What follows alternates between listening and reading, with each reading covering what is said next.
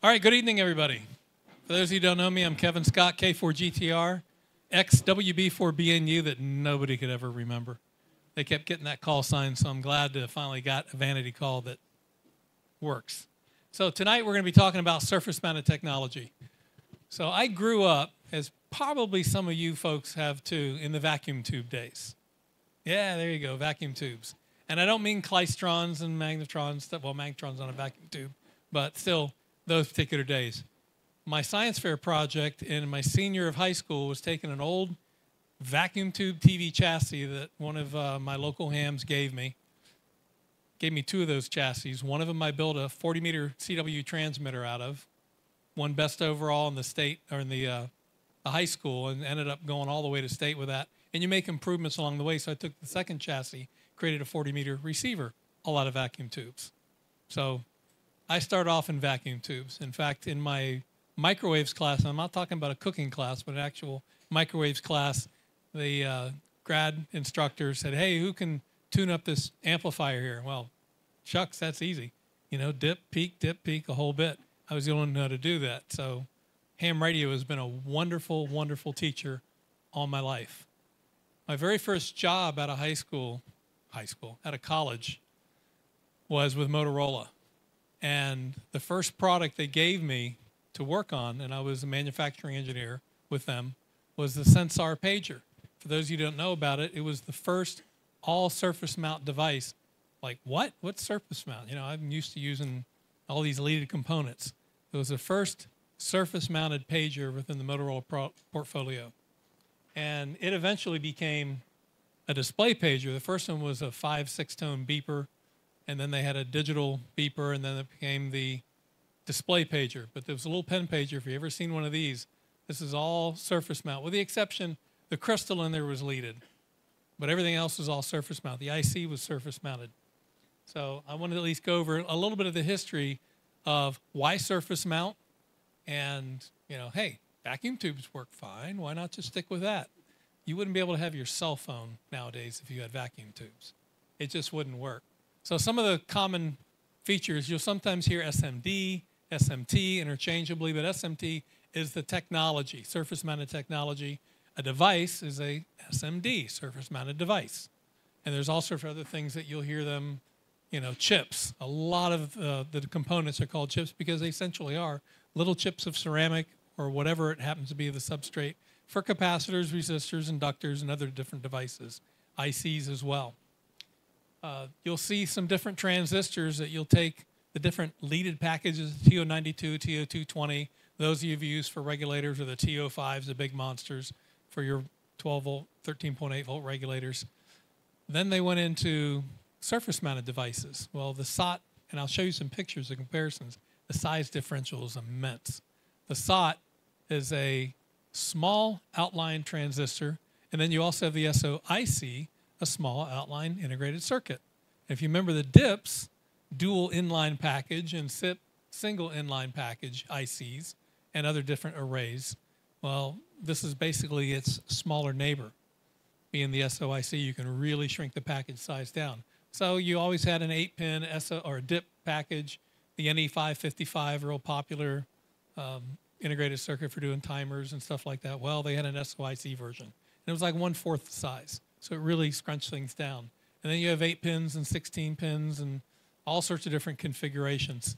So we'll go show you some of that stuff. The integrated circuit was definitely something that was spawned out of the whole semiconductor revolution. Like, wow, I can have multiple transistors in one little package or diodes or whatever else. And that whole plethora was born to really shrink things down. Like I said, I, if I had a cell phone that was made out of vacuum tubes, who was it that was showing us the? Um, oh no, it was over at Sonny's Barbecue, um, showing pictures of this pack mule radio station that was just huge, and they had 12 volt car batteries. They had another mule that was carrying them out in the boonies, so they just wouldn't be able to do that. So some other common terms, acronyms, and stuff like that, as far as things that you'll find, like we usually use solder, good old fashioned wire solder. Okay, well, In the surface mount world, yes, you can still use that when you're hand placing, but the beauty about surface mount, it really tends to uh, be an open door to automation. Take the labor out, take the cost out. It really shrinks the size down. So solder pads are on the circuit board. You got solder paste that gets put onto those pads, which is kind of it's mixture of tiny, tiny, tiny solder balls and flux, which tends to be kind of sticky. So when the part's put down on that paste, it'll stay put until it goes through this oven that heats up the solder and, and does its magic. So a solder stencil is basically if you ever taken and made T-shirts, you make a stencil and put the paste or the uh, the paint through it, and then whoop, whip it off. It's the same thing with the surface-mounted technology. You have this solder paste. You run this squeegee right across the stencil. It deposits solder on the pads. You pop it up, and now, and I'll show you some of that, some cool pictures about that. Pick and place, those fancy machines, and some are actually very simple, but the bigger ones are just putting down thousands of parts uh, in an hour. It's just incredible amount, uh, even tens of thousands of parts in one hour. Just really fast. Tape and reel machine. So the tape and reel is very commonly packaged for surface mounted parts. There's the tape and the reel. So a little piece of tape right here. There's little pockets with tape over the top that you peel off and these are what the components are in. Later on, you'll be able to walk up here and you'll see there's little pieces of black and silver on here. Those are actual capacitors that I pulled out of there so you can see what they look like. But you'll see a lot of them, they come in tape and reel. It just makes it so much easier for the machines to be able to pull the parts off of these little pockets and put them right on the circuit board. Makes for uh, incredible automation. In fact, the funny thing is when I first went to work for Motorola, now you have programming for these pick and place machines. Back then, they actually had, if you remember what a stock market ticker tape looked like, it was that. It was this long piece of paper, had little punches, and that's what they programmed the pick and place machine with paper. You make a mistake, you got to generate a whole new piece of paper again. Painful, but it was a start. So once again, you have the vacuum tubes, and one of the things that the vacuum tube or the valve technology people came up with in 1959 is a Nuvistor. It's a very, very small one over there runs at a lower voltage. Uh, it was kind of their last gas to really make vacuum tubes useful for smaller and smaller electronics. You would think that it would be, I was thinking originally Nuvistors were around like in World War II, but according to what I found, it was not. It was something later on. Okay, so there was some things that was smaller. The Nuvistor came of that, but because I do have a World War II era Navy receiver, and it's got some really small tubes.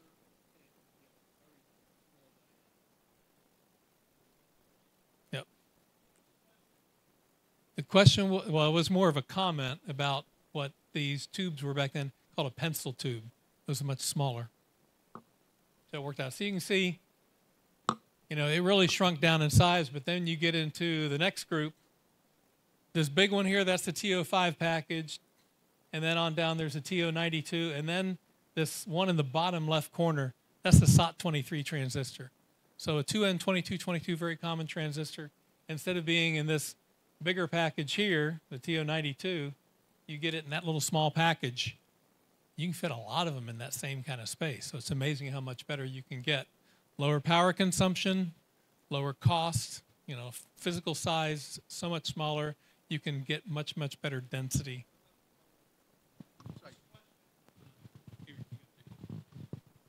There's not only power consumption, but there's power capability. So when you get power capability, you still have to use the bigger. You do. So they do have their techniques, but for something like a 2222, depends what it's used for. If it's a signal, like a receiver signal amplifier, yes. If it's for a power amplifier, then you need something a bit bigger, for sure. Yes. Uh, one other point, maybe you're going to make this later, but it's on the extra exam. Um, the the, uh, the smaller packaging also means that the lead length between components is reduced, and that has a significant impact. Oh, I'm going to get into that. Frequency. I'm yes. going to get into yeah. that big time. oh yeah. Dip dip packages and whatnot have uh, considerable loss of frequency. you see my third line there? Operates at higher frequencies. You try to operate in microwaves with a tube, pretty tough. They did some of that stuff back in World War II, but it was really tough. Forget the cell phones, what they're doing now on Wi Fi, five gigahertz, no way. You're not going to be able to do it. It's just too big, too large, uh, too spread out. But we'll go into self resonant frequencies, one of the things we're going to. Some are 2.4, some are like 900. It's a magnetron. Here, we get the question. Kevin, if you can. Hello, we're recording this, so if you got questions, you need to speak up so we can get this on our GarsTube. That's that's the only reason we're kind of waiting for microphones because the audio equipment can pick most of it. So the question was about microwave ovens, what frequency they operate on. 2.45 gigahertz. Typically, there are some that are 900. Now there is, and I want to say it's Lucky Gold Star came up with an IC or a transistor that op- actually operates on these frequencies to replace the magnetron in a microwave oven. And I have not seen any of these yet because it's a bit more expensive and microwaves gotten so cheap. But you can actually put several of these radiators throughout your microwave oven to give you more even heating. So, but I haven't seen too many of those. But that was like five years ago or more that I saw that was out there. Hold on.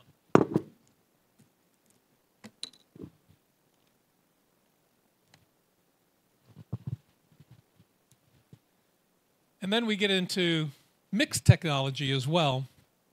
So you can see sometimes you can have leaded parts, but then you go to surface mount parts, and sometimes you may have a mixture. But the key things about surface mount, the advantages of surface mount over leaded, obviously size, density, uh, manufacturability. It's just so much faster to be able to go ahead and instead of manually placing. There are automated machines that will place leaded components, but you know, you're basically taking a machine that's taking those leads and crunching them down. And if they're slightly bent, you're going to eh, jam it and it's not going to go in there. It's just not as conducive for manufacturability. Certainly higher frequency of operation, as I mentioned, and uh, we'll go into their self-resonant frequency. Power, it consumes much less power now. When you need to dissipate more power, then of course you have to have heat sinks and other different devices, but you can still have, and I don't know if this one has it. I've got another picture that shows some of the surface mount. They're called DPAKs. It's kind of like a TO220 package with a fin on top, except this one's meant strictly for surface mount. And it's usually you find those in regulators. And we'll get to that. What about repairability was the question. You know, we'll get to that. Uh, it definitely requires some different techniques. Uh, it's still, you can do it. I'm going to show you, you can do it with a plain soldering iron. Now, when it comes to the ICs, you really need like hot air. It's different. But for a two leaded component, resistor, capacitor, inductor, you can still easily repair them with a pair of soldering iron tips. It's not a big deal. Done it all the time. It's just a certain technique. But you need, because it's smaller, you need a microscope. But you don't, here's the beauty though. Here's one thing I would like to mention. Bring up a good point, And I don't even have this in here. But how many use solder suckers for pulling out the leaded? Now, I want to let you know about this one. This is one that was recently brought to my attention. It's got a silicon, flexible silicon uh, hose at the end of it. This works wonderful. 15 bucks on eBay. I'm sorry, uh, Amazon. And it even comes with an extra strip in case it wears out. You got more in there and you can cut it to size. Unlike the ones that come with a Teflon piece that's stiff, it doesn't really seal well. This seals wonderfully. Where I was sitting there you know, sucking three or four times trying to get the solder out and it never quite gets it. This thing sucks all that solder out. And the problem with a leaded component, you're trying to suck the solder out of a plated through hole, and there's always some little area that still touches. So even though you've sucked the solder out of it, you're trying to pull the lead out and it's still stuck. It's kind of one of the pains about like those resistors there, trying to pull those out. You have to pull them out either while they're hot, so you stick a little screwdriver underneath there, heat them up, pull them out. Um, and make sure you don't pull the via hole out. Surface mount, not a big deal. I take soldering iron on both sides. Once it's heated up, or take hot tweezers. There's, you can buy those if you want. That's a little more complicated. Now you'll see some pictures of that, and it comes off real easily. So from a repairability standpoint, in many cases, it's easier. Now, when it comes to the real small parts, I find there's a balance between using soldering iron or a hot air gun. And hot air, sometimes if you have too much airflow, part's gone, and if you don't have enough airflow, you'll keep it there forever. You'll burn up the board trying to get the part hot enough. It's a balancing act. So many advantages. So why is surface mount so much better for higher frequencies? You have what is called self-resonant frequency. There was a time back in 2012, I was working for this one company called Nivus over in Smyrna, and we had this IoT or Internet of Things transceiver running at 900 megahertz. And the previous engineer who was on the product couldn't get it working. They fired him. They opened up the job. I went ahead and applied for it. Wanted to get out of where I was working, and I just wanted to do RF engineering again. It was great. I figured out pretty quickly what he did. Uh, with every type of IC, there's always a sample circuit that they have in there. Well, the guy built the sample circuit exactly like it was in the book, except the sample circuit was at 433 megahertz. So he used components that were designed for that frequency, not 900 megahertz. Well, it turns out the self-resonant frequency of that inductor, it turns out that an inductor, which is supposed to be used as an RF choke to block any RF from getting into the DC line, was actually more like a capacitor. As you get higher in frequency, that inductor becomes a capacitor. Same thing with capacitors, as you get higher in frequency, they can become like an inductor. What causes that are your lead components. And as you see right here in the bottom, there's a model of a capacitor self-resonant point where it'll be mostly capacitance, and you get over here and whoop, and it turns into an inductance. So you can see it has 1 over 2 pi fc on the left side, 2 pi fl on the right side. There's that resonant point that it changes. And why is that? Because the lead inductance as well becomes significant. You also have some interelectrode capacitance between those two leads, not usually significant, but it will end up changing the properties. Even more so for inductors, you've got this model here of an inductor where the leads themselves, there's some lead inductance in there, but you also have in between the windings, you got little capacitors in between the windings as well. So that also changes the properties of that particular part. I fixed this problem by going to a part, it fit on the same pad, but instead of a self-resonant frequency at 900 megahertz like this one did, it was at 6 gigahertz. Whoop, fixed the problem, and we didn't have to lay the board out. My boss was real happy, so that worked out real well. But this is really, really important with a lot of high frequency components. Take a look whenever you're on DigiKey, Mouser, or whatever else, look at your data sheet. If you're going to be designing something for VHF, UHF, and above, look at the self-resonant frequency of those components. Not everyone's the same way. You'll have an inductor, a chip inductor, it's either on a ceramic base or a ferrite base or some other type of base. They will have different properties that will have given them different self-resonant frequencies. Oh, I got a 1.2 microhenry inductor on here. Well, at your frequency of operation, it may not be 1.2. It may be a capacitor. So you really, it's really important to take a look at that. But with surface mount, it's very predictable. With a leaded component, it depends how long you leave the leads. Like, oh, I'm going to leave the leads on because it's easy to repair. Well, that'll mess you up from an RF perspective. So for DC, no big deal. Power supply, not a big deal. RF, huge deal. So that's some of the things I wanted to at least compare between surface mount and digital. If you take a very look at the top, take a look at those components that are sitting above. There's your surface mount device equivalent versus the leaded component and how much smaller they are. Makes a really big difference.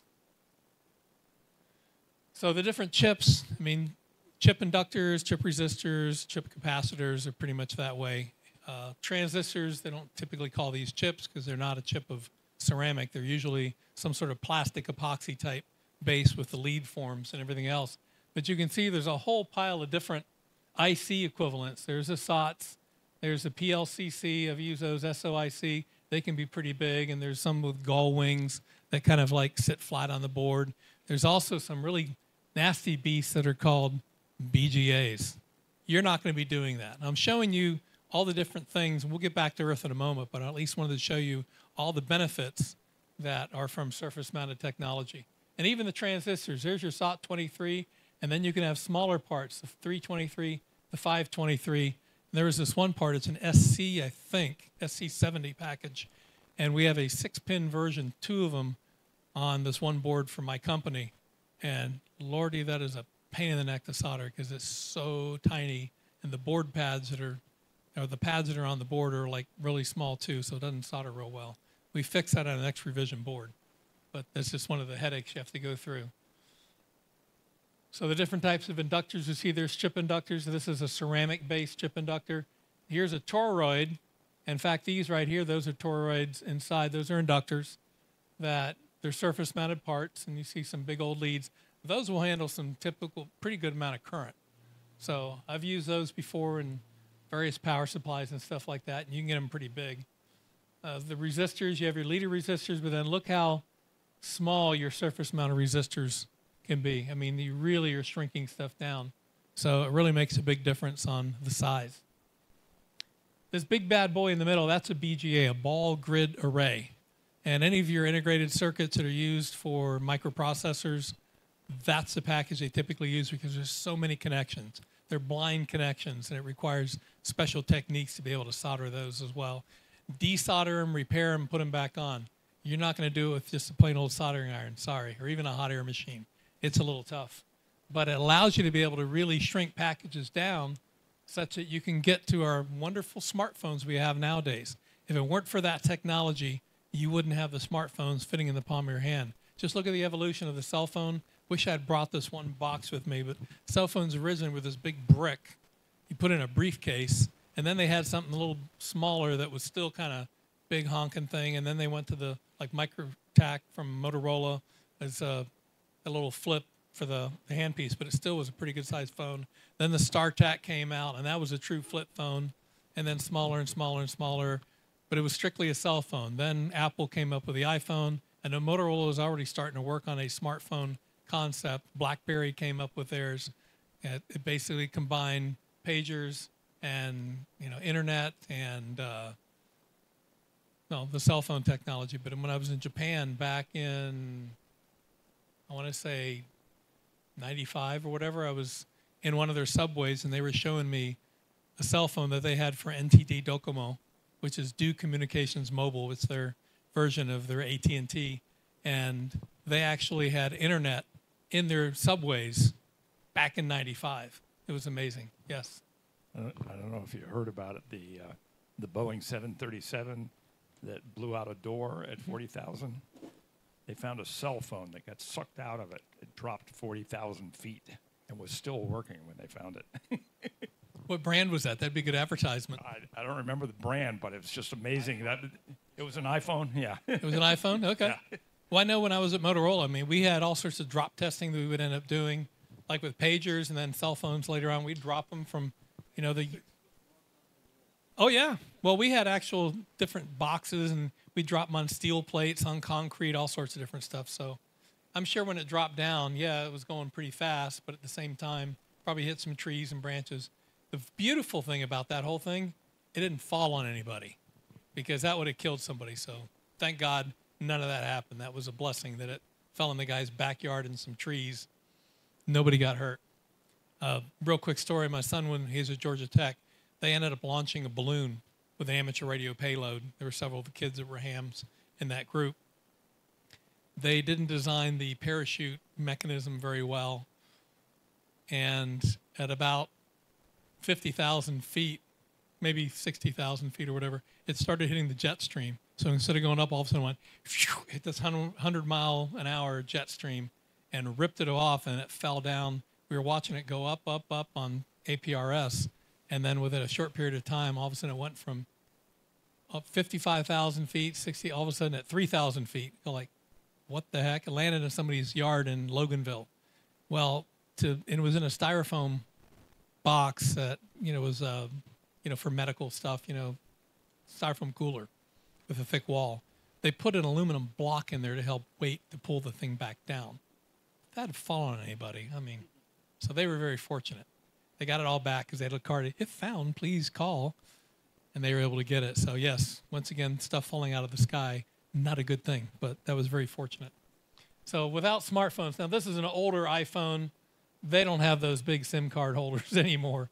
But I just wanted this was a good picture that really showed all the different integrated circuits in there. The shield covers off so you can see all the components and especially all the little tiny trans uh, resistors and capacitors and stuff all around the perimeter of the ICs. And those ICs have all sorts of goodies inside them. So, and that was a Samsung up there, and it's got some shielding on there as well that are over the different ICs. But you can see how highly dense they are. And the key thing, it's also not just on the one side. There's components on both sides of those boards. So they run them through the oven, and which I'll go over in just a little bit. So the different how you get such large capacitance in a small package is you have all these different layers. So you get a ceramic capacitor, and it um, has all these different layers here that allow you to be able to get a large amount of capacitance. The one issue with them as well, you need to make sure you put them in a section of the board that doesn't bend because they're also susceptible to cracking because it's ceramic. Ceramic's a brittle material, and you'll get a cracking that'll cause what is called electromigration. You get moisture in there, it'll eventually short out the capacitor.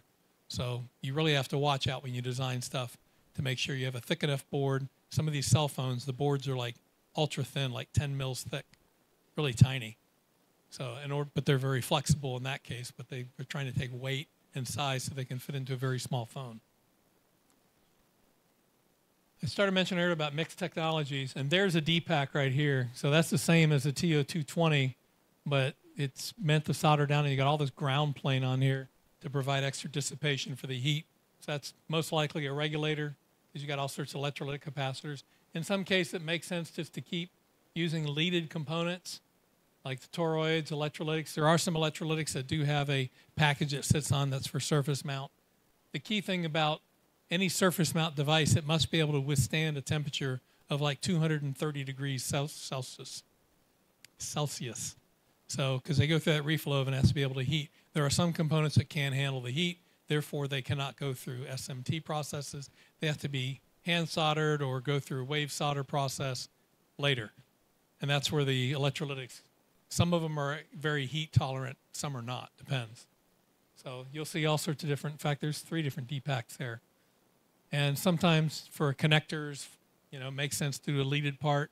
There are some that are lead less, and they have little, you know, uh, angles to how the lead part goes through. There's your big BGA right there.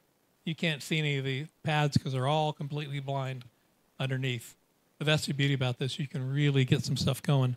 So the whole process, uh, I can show you some videos. I don't have them here right now, but this is a standard SMT process you've got that one box at the very end. That's actually where the, circuit boards, the blank circuit boards are stored. And they go on a conveyor, go into this first machine, which is a screen printer. It takes the solder paste and screens it onto the actual board itself. So that way the parts will end up sticking to that solder pad.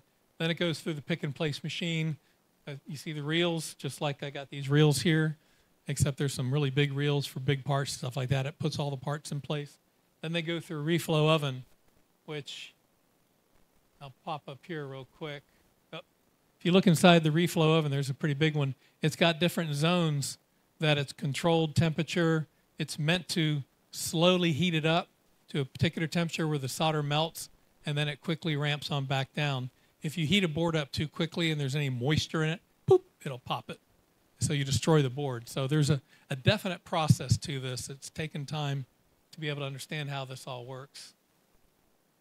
So with the solder paste, you basically you have the stencil that you see that silver. It's a thin metal sheet, and sometimes they're four mils or four thousandths of an inch thick, and sometimes three and a half mils, really really small, thin. But you end up taking the solder paste, and that's what that gooey looking stuff is. And they run that squeegee across some rubber piece that takes and the solder deposits through the hole, and then when they're all done, they lift it up, and then you see you have solder paste sitting on those pads. You place the parts on there, and there they sit until you run through the reflow. So they're not going to be flopping all over the place like you would if you didn't have anything to stick them in place. So it's kind of like glue, but it's solder. Then, of course, your pick and place machines. This one we call a Gatling gun. It's got a whole pile of things. To see this thing run in person is incredible. Go on YouTube. You'll see all sorts of videos of these things going ching, ching, ching, ching, ching, ching, ching and except it's not doing that fast, it's going 10 times that fast. It's amazing how fast they end up going. But they end up, these things are moving around like crazy and they're picking up parts. Not only are they picking up parts, they're also taking a look and see what orientation it is. They're identifying it, make sure this is the right size part, right orientation. Sometimes they'll even test them ahead of time to make sure it's measuring a certain resistance value. You know, it's incredible what these machines can do. So the parts that are put on, you know, are right from the beginning. So those are those pick and place machines. Reflow ovens. We've got one of these at work right now. We we can do our own little homemade boards if we want. and that's where you end up having your own little uh, reflow oven, or you can even get crazy. Oh, I was going to show you. Well, I'm going to show you in the next phase when we get back down to earth. So this is what we do commercially, everybody. And now, from an amateur radio perspective, we come back down to earth. So you can do this yourself. You can lay out your own circuit board. You can uh, put your components down. You can either do it by hand, as far as soldering them individually. It's a little slow, but hey, it's slow when you're popping leaded parts in and soldering them as well. Takes a little bit of time, but with this one, you can also, like JLC PCB and OSH Park, these companies that make the boards, they'll also make you a little stencil that goes along with your boards. So you can take that, you can get solder paste from Amazon, pretty cheap. Get your own little squeegee and just run it across there, peel it up, do it yourself. I think Micro Center may even have some of this stuff. In fact, I know they have solder paste because I was just there yesterday, and they have some stuff for the hobbyist that you can do that yourself. Once you lay that out, have that solder paste in there, you can sit there and pop your parts on there with tweezers and just drop them in place. Even if it's not perfect, when you solder it, when it runs through that oven, because you can take a little toaster oven and modify it to actually create your own little oven to, to melt the solder, it will, just because of the viscous nature of the molten solder, will realign the part slightly. So it's really cool to see that. So you can do that yourself. So this is a standard technique if you want to do it by yourself. This is the easiest thing to do. They show a solder pen, I'm sorry, a flux pen. Has a little bit of flux on there. You always want to add a little bit of flux. Just like the solder that I have here, it's got rosin core inside, which is great. Uh, and you can do that as well, but you got to pre-tin your pads just to make sure there's no oxidation on there. Just touch up one of the pads, put a little solder paste on there, uh, paste, flux on there, add a little bit of solder to at least get one side. So then you solder that one part. As you see, I'm tinning the pad, add the part here. I tin the one side. Once that one side is soldered, then it's the other side. It's easy to solder because it's already mechanically held in place. So it's a pretty easy way to go ahead and just do this manually. I've got a kit that I just got. It's for a um, a WSPR transmitter, or I think that's a transceiver. And it came with surface mount parts already installed because it's cheap and easy for them to do. Plus, they feel that a lot of hams are afraid of doing that, but it's really not that bad. It takes a little time. Doing the IC takes a little bit longer, and if you have a hot air machine, you're much better off doing that. But you can still do that by hand if you have the right tip. Make sure your tip is very, very small, very fine. The last thing you want is a tip that's so huge it covers multiple pads at once. You don't use your 100 watt Weller gun. You don't even get it near your board. So these are all pencil pencil type. In fact, this came out, I mean, I've got my pencil iron here. That's typically what you end up using. And I've got some ones from work that are really very small, fine tips so you can use for these small parts. There are some other ones that I'll use. It's a slight flat tip, and it really does a nice job of hitting some of the larger parts. And you, you know, the key is minimal amount of time spent on the pad will save your pads and components. So you want to heat something up quick, add your little bit of solder, and go back. The last thing you want is a big glob of solder on your pad.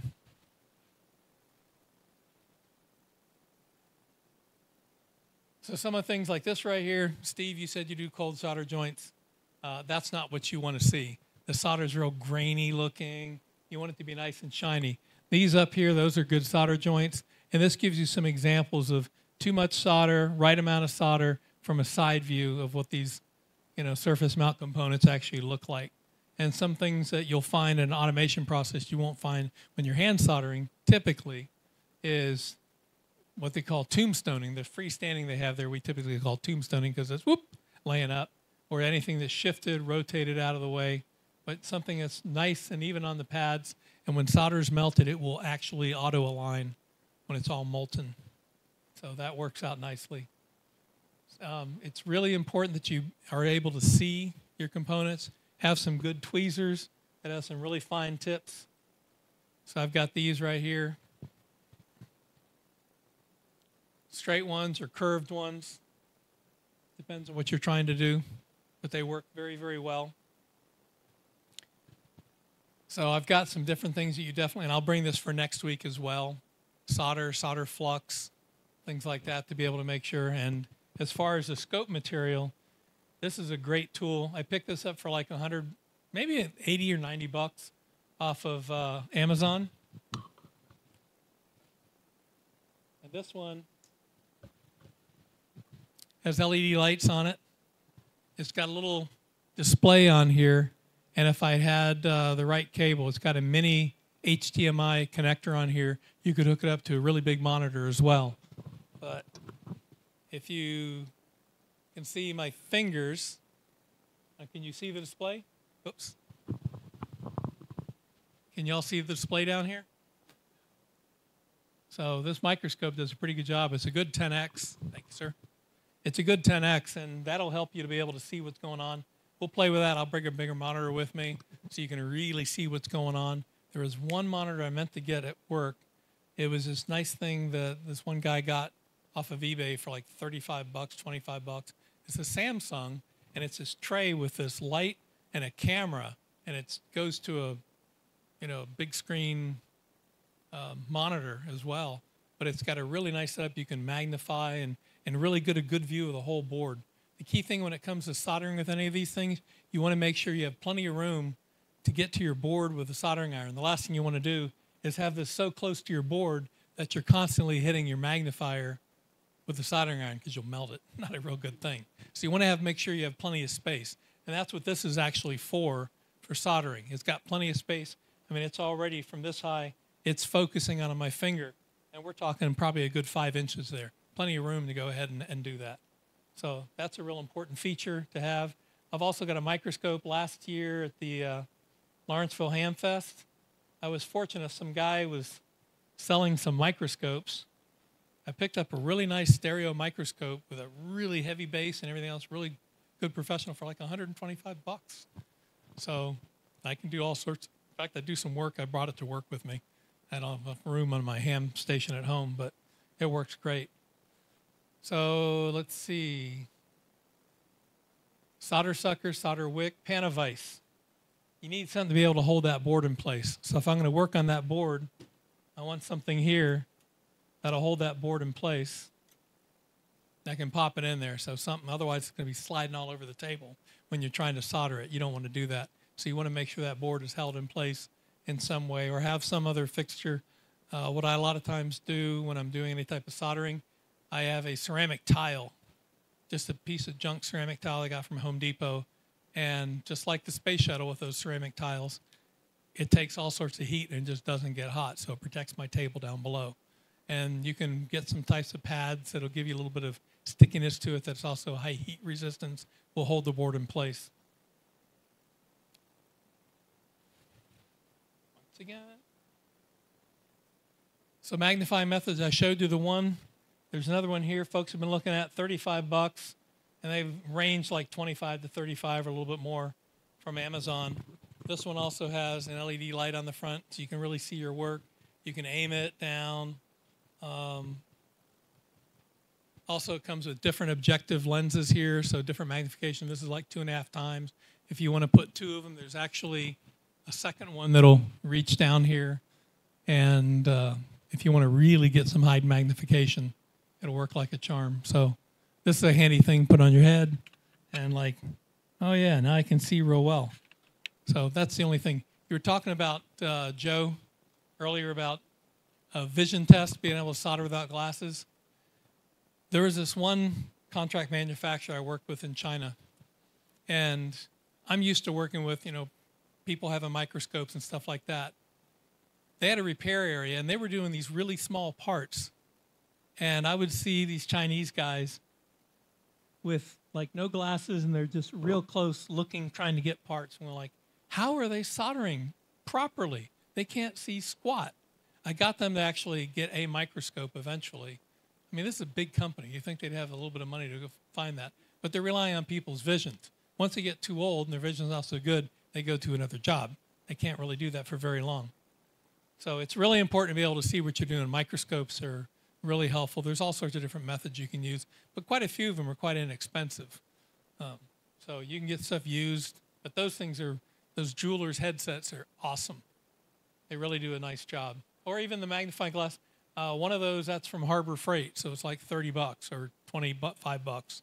So those magnifying lighted lenses uh, do a really good job as well for most of what you're going to do. You're not going to do the real fine stuff anyway, I would hope. For more advanced repair and sometimes putting on parts, you have these hot air machines. They're very tricky in getting the air just right, as I mentioned. You can blow parts off. But if you notice here, these are different nozzles, and those nozzles give you different type of air currents, whether you have a very small hole, very large hole, and then you have some that just put air around the perimeter of your integrated circuit. So it's not heating up the whole body, it's only heating up the contacts. And then you can pull it off more easily.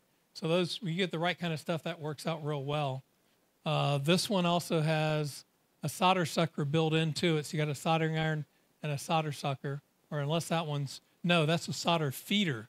So it's soldering and it's got a feeder where you feed the solder through the end there. There are some that do have solder suckers. There's other ones that have tweezers, hot tweezers that you use to grab parts off. It's real easy to pull them off. But two soldering irons work fine. You don't have to invest a whole bunch of money. Um, some of those will cost you like eight, nine hundred bucks for some of these more fancy ones. That one I think will cost about two hundred dollars, but you can get stuff really cheap as well and keep it simple. now our ovens, solder paste you can get off of uh, Amazon. It either comes in a tube like that you can smear over your stencil, which is that's what this is right here. That's just a very simple mylar stencil for your board. Or you can end up taking solder paste in a syringe and popping off your different, you know, pads if you want to do it individually like that. So you can get it in all sorts of different ways.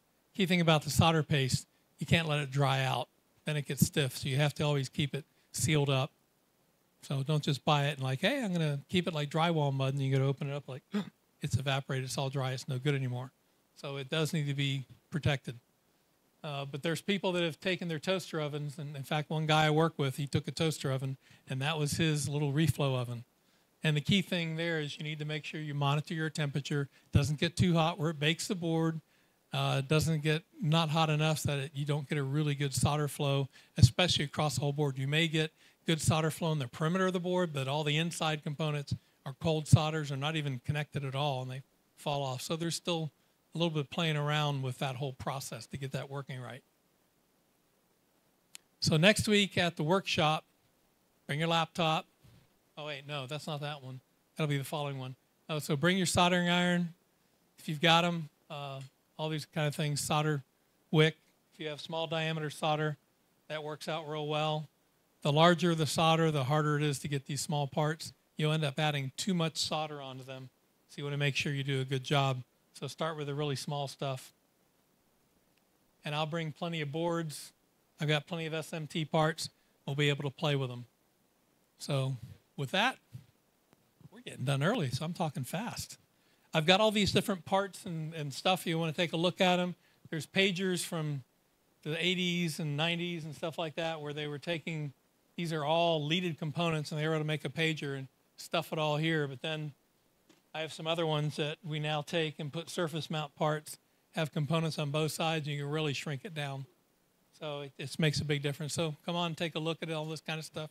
Have any questions, give me a holler. Um, plus, I'm on uh, the GARS email thread. Any questions?